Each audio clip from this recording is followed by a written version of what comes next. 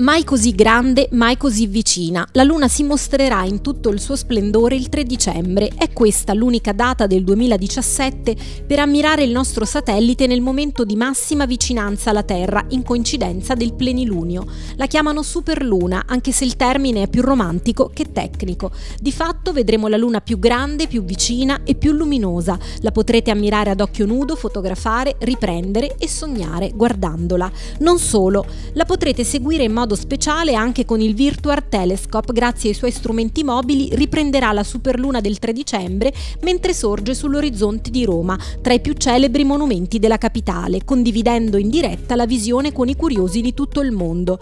Il commento all'evento sarà dell'astrofisico Gianluca Masi, noi lo abbiamo intervistato. Noi abbiamo ormai adottato questo termine a furor di popolo. Superluna non è un termine scientifico, indica semplicemente una luna piena o una luna nuova che si verificano quando il nostro satellite è più vicino della media alla Terra. Questo è un fatto normale perché la Luna si muove su un'orbita ellittica attorno alla Terra, quindi talvolta è più vicina al perigeo, talvolta più lontana. Ecco, semplicemente quando la fase di luna piena o di luna nuova si verificano a ridosso del perigeo, essendo un po' più vicina, questa luna è un pochino più grande e allora Furor di Popolo è stata battezzata così, superluna.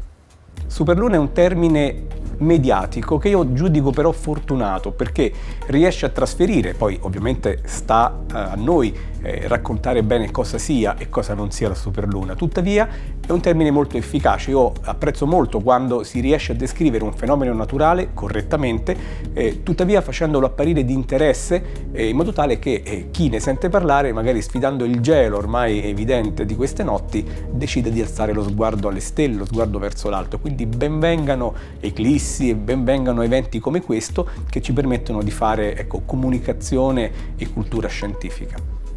La differenza tra una luna piena normale e una superluna non è così eclatante. Eh, ci sono stati, eh, devo dire, dei test eh, dove eh, osservatori esperti si sono sottoposti diciamo, a una serie di verifiche senza conoscere quale fosse la tipologia di luna piena che stavano per vedere e mediamente hanno riconosciuto quando la luna era un po' più vicina. Quindi chi è eh, assiduo nell'osservazione del cielo può anche rendersene conto. Dubito invece che l'osservatore casuale, ecco, sbirciando fuori dalla sua finestra, possa accorgersi che quella del 3 dicembre sia una superluna rispetto alla precedente.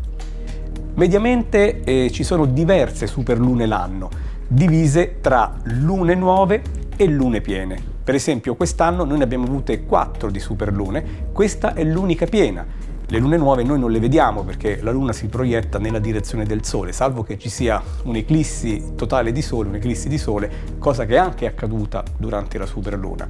Però ecco, eh, ne avremo anche altre, anche, anche la prossima, e diciamo dei primi di gennaio e anche a fine gennaio. Tra l'altro quella di fine gennaio sarà una luna spettacolare perché sarà una superluna, ci sarà un'eclissi totale di sole e sarà la seconda luna piena di gennaio che nel gergo viene definita luna blu. Non oso immaginare, accenderemo veramente una, una, una, uno status notevole, però ecco, ce ne sono diverse l'anno.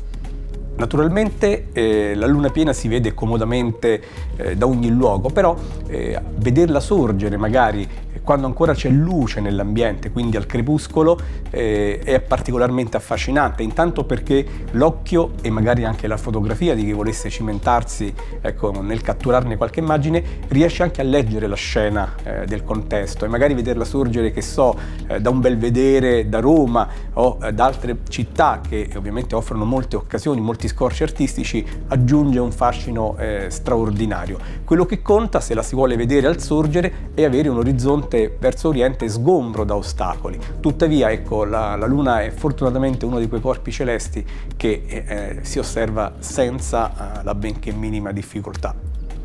La Luna è un elemento fondamentale nella nostra cultura. Ci sono eh, opere e rassegne scientifiche che analizzano eh, proprio il ruolo della Luna nella cultura e molte opere d'arte, inutile sottolinearlo, eh, si ispirano eh, più o meno profondamente o ingenuamente ecco, alla fedele compagna eh, della Terra.